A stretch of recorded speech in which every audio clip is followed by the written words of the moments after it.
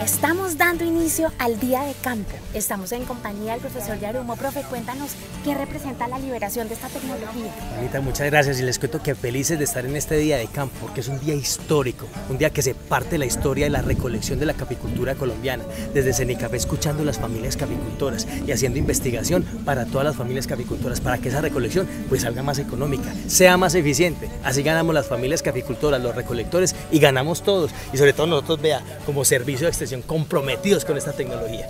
Profe, ¿y el reto del servicio de extensión cuál es? Bueno, familias de extensionistas también pilas, pues queremos contarle a todas las familias capicultoras acerca de los grandes beneficios que tiene esta nueva tecnología, la derribadora selectiva de café, la DSC Raya 18.